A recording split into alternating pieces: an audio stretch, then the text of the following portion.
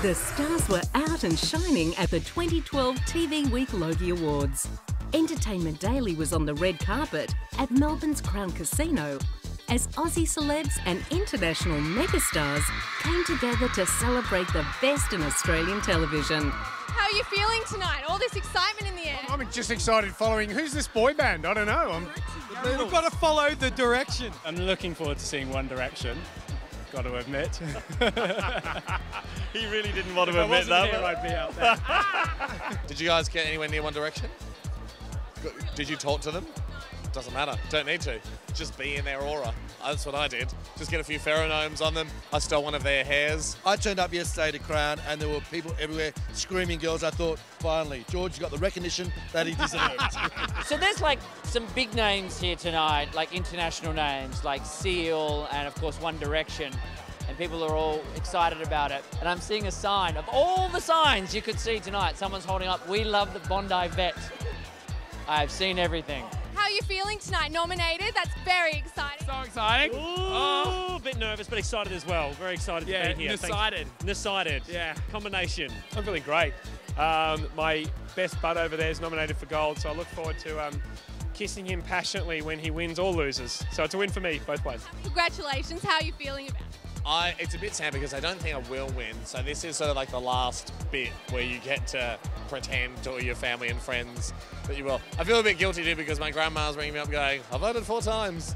And I say to her, look, that's undemocratic. You should probably only do it once. I'm just excited to be nominated. To be, you know, perfectly honest, it was an absolute shock. So I think about the people I'm nominated with, and they're all people I love on TV. So to kind of be in that in that category is a real honour, and um, yeah, I'm really excited. But to be here is fantastic. To be on a Foxtel show, which is fantastic, and to see the clip at the Logies, kind of. I'm not going to say that's enough because I would like to win, but it's almost enough. It's it's nice. What's the best part about the Logies for you? Uh, I don't know. Talk to me in a couple of hours, and uh, you know, I might have a different story. Winning.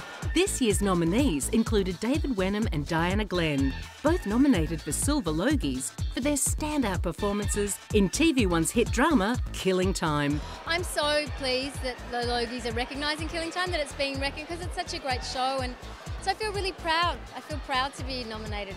The 2012 Logies was the best place to see all your favourite actors wearing the very best of designer couture. Tell me about your dress. Um, it's made by Steven Khalil, who's very, very clever, and I feel so lucky to be able to wear such a, a gorgeous frock. It is a gorgeous custom-made one off Alex Perry. This is by Burberry, so it's from their pre-fall collection. My outfit is by Gwendolynne, who's a Melbourne designer, and um, the- it's beautifully beaded. I've got beautiful jewellery by Kozminsky, and I feel like a princess. A host of special international guests were in town to join in the celebrations. Entertainment Daily caught up with some of the night's big winners after the ceremony.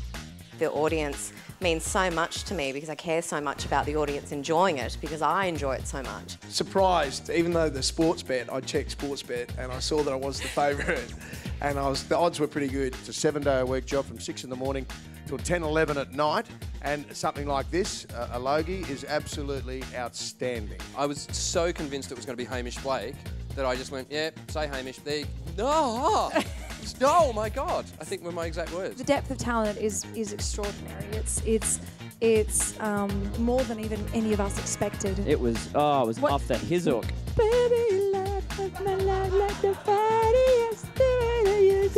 Trying to make fun of you, but I know the words, so I'm the fool. There's a lot of celebrities around. Is there anyone you've got your eye on? Oh, Yeah, well, Manu. I did see Manu, and I'll be seeing him And later Carl on. Stefanovic pushes my buttons. Wolf. Yeah, Wolf. Yeah. Well, and what about Dickie Wilkins? You've got a little soft spot for Great, him. I love too, his hair. Mm, Powerful gorgeous. hair. Anybody with powerful Yes. hair. It's been a ratings winner for 18 years because these people know what they're talking about. That's it. Beginning and end, and people like that. As an actor, um, you are just trying to maintain the emotional truth. You know, I was just a little bit overcome, I think, looking down at Ando going, well, you know, this is this is to a lot of people kind of one of the, you know, the big night in television. And uh, it felt a little bit weird to not have him next to me. Full episodes of Entertainment Daily are now available online at tv1.com.au.